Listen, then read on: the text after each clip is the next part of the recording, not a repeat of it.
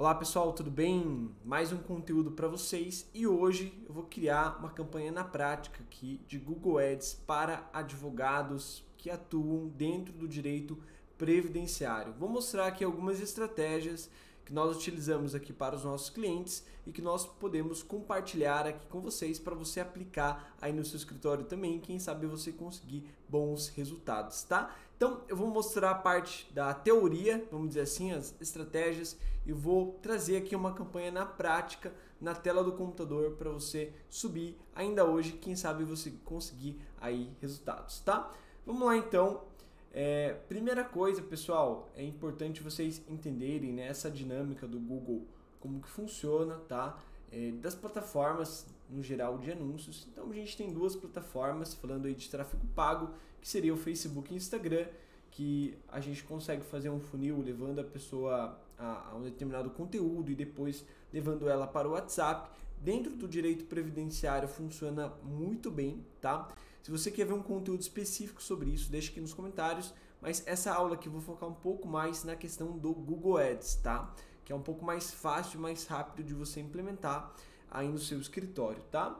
É, agora, falando aqui de Google Ads, a gente precisa entender dois conceitos, tá? Que a gente tem aí o topo de funil e a gente tem o fundo de funil, tá? O que, que é isso, Gustavo? Topo de funil é quando você quer aparecer no Google, tá? Em pesquisas um pouco mais amplas. Quando que isso vale a pena? Quando o custo por clique é muito caro ou quando você está numa localização muito limitada é, e não tem um número tão grande de habitantes. Né? Então, digamos que você atua em uma cidade pequena, o ideal seria você atuar no, no topo de funil e você não aparecer apenas quando a pessoa pesquisar para um advogado é, previdenciário, advogado e INSS, mas você aparecer em pesquisas mais amplas que também podem funcionar. Então, por exemplo, o cliente que está pesquisando ali como se aposentar, como conseguir tal benefício, enfim, entre outros problemas né, que o seu cliente ele vai buscar na internet que estão relacionados aí com o seu trabalho como advogado, ok? E aí a gente tem aí o fundo de funil, que são para pesquisas mais direcionadas. Então, ou seja, aqui você escolhe, tipo, ah, toda vez que alguém digitar aí no Google advogado, gado, INSS eu quero aparecer, advogado, aposentadoria, aposentadoria. Ah, quando alguém digitar é, advogado benefício X, advogado previdenciário, advogado especialista em direito previdenciário, eu quero aparecer. Então é mais ou menos dessa forma que funciona esse fundo de funil e eu já vou mostrar tudo isso na prática, como que você faz aí para subir essa campanha de uma forma prática, tá pessoal? Um conceito importante nessa parte de estratégia é a gente entender a jornada do cliente, tá? Como que eu consigo resultados na internet? Será que funciona a captação através do Google, tá? Eu vou mostrar aqui para vocês o porquê que funciona, tá? Geralmente o cliente ele tem uma necessidade, ou ele vai buscar uma indicação, ou ele vai pesquisar na internet, tá?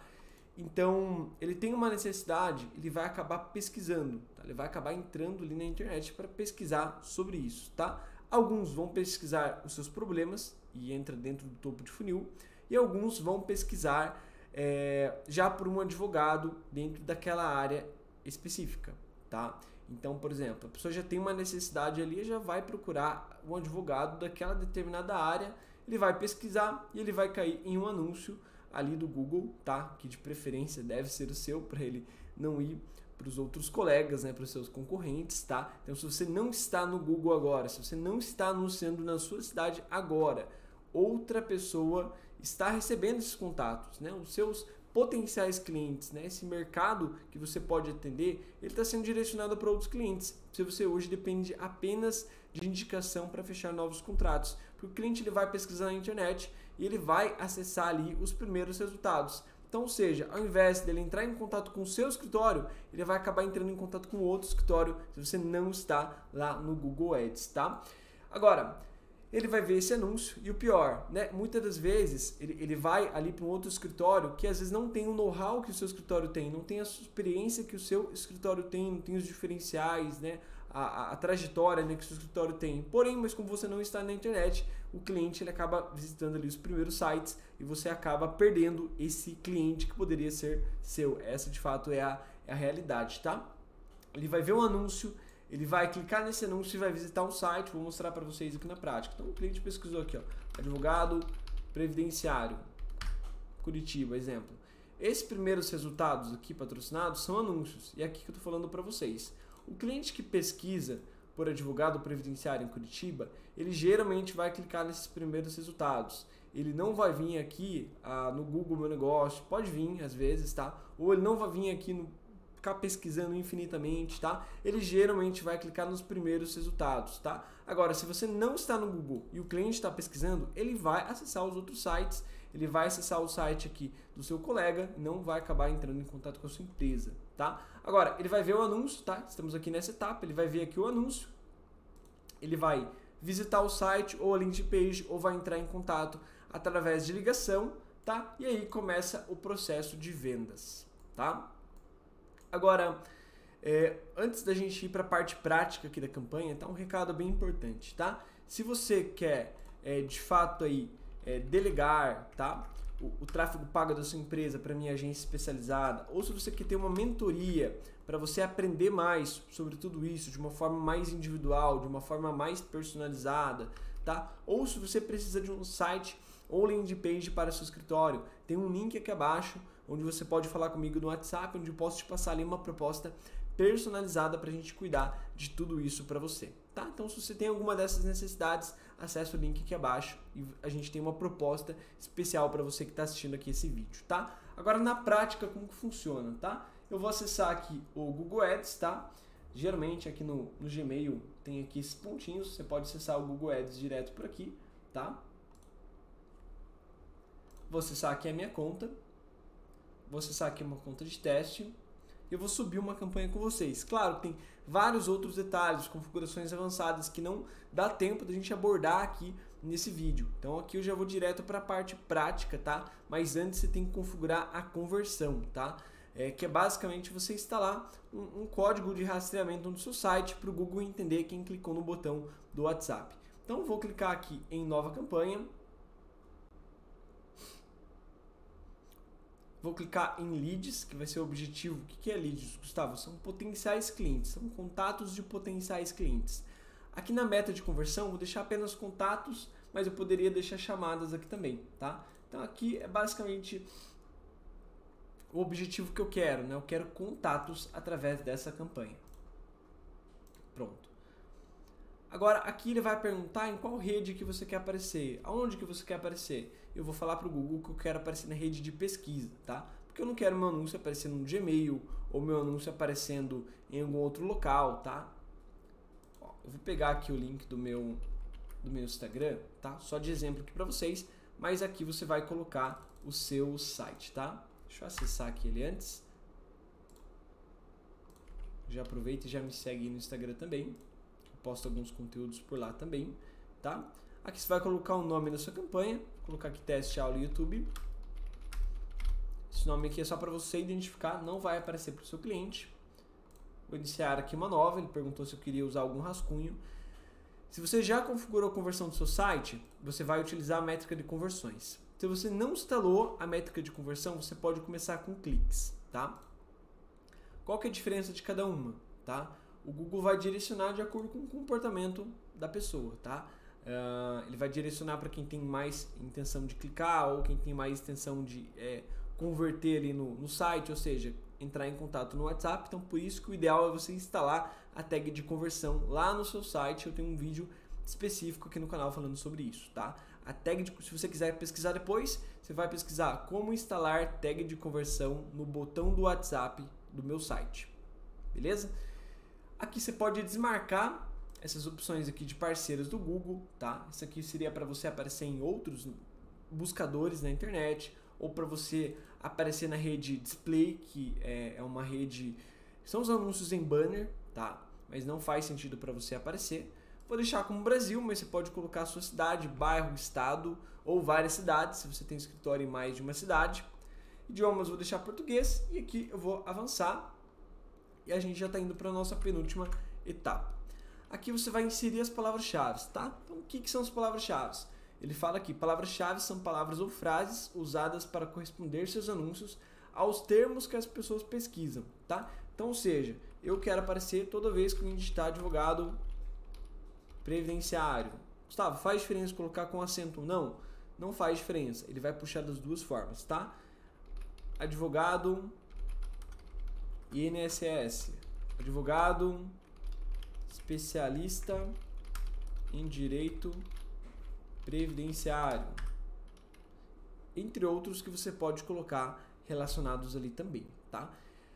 Se você deixar apenas advogado, ele vai aparecer para várias buscas relacionadas a advogado. Então tome muito cuidado, porque se você quer captar clientes em uma área específica, você precisa fazer isso da forma correta, senão o seu anúncio vai aparecer para várias pessoas que estão buscando advogados de outras áreas. Então toma muito cuidado, que se você deixar aqui apenas advogado, ele vai aparecer para outras pesquisas que a pessoa escreveu advogado, tá? Então, se você quer atuar apenas dentro do direito previdenciário, sugiro que você sempre deixe advogado e uma palavra ligada, né? Advogado, aposentadoria. Pronto, tá? Aqui no anúncio é o que vai aparecer para o seu cliente, então a gente pode colocar aqui alguns anúncios para chamar atenção, né? Advogado é, previdenciário. Aqui uma dica é sempre você citar algumas palavras-chave que você colocou em cima, tá? Advogado INSS. Aqui você pode colocar até 15 títulos e o Google vai é, entregar eles de uma forma dinâmica de acordo com a pesquisa do usuário, tá? Você pode colocar aqui entre em contato.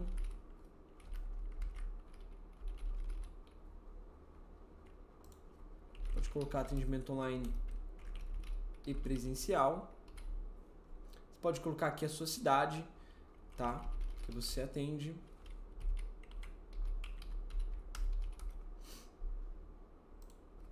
Vou tirar esse ponto só para não dar nenhum erro, tá?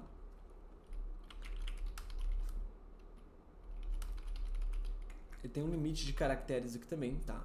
Até 30 caracteres. Vou colocar aqui alguns só de exemplo, tá? Entre em contato. Vou fazer bem simples aqui para a gente não perder tempo. Mostrar para vocês, claro que você vai fazer de uma forma mais elaborada isso aqui, tá? Mas isso aqui é só para a gente ganhar tempo e a gente partir para as próximas etapas, tá?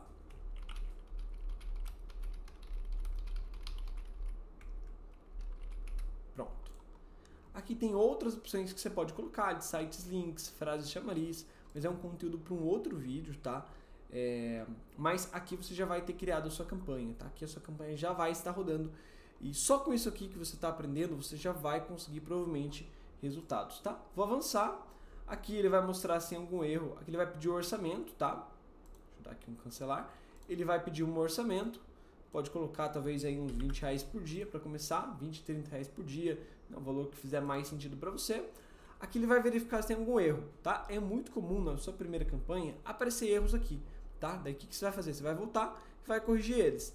Geralmente esses erros estão relacionados à escrita dos anúncios, que tem várias regras. Você não pode colocar ponto de exclamação, você não pode colocar ponto em lugar indevido, você não pode deixar tudo em letra maiúscula. É, vamos ver o que mais. Você não pode, enfim, tem uma série de coisas ali que você não pode colocar no seu anúncio. Mais de caracteres, tá? São coisas simples de, de resolver. Você pode voltar lá e corrigir isso caso apareça algum erro, tá, pessoal?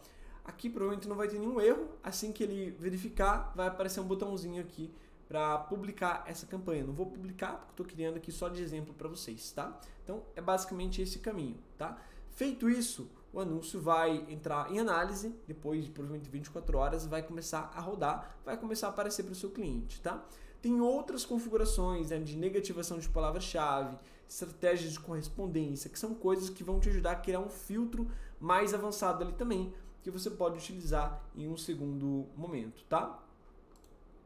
Tá falando que o meu anúncio tem problemas aqui, provavelmente deve ser relacionado a alguma questão desse é, dos pontos aqui, tá? Na verdade eu tenho que confirmar aqui a minha identidade nessa conta.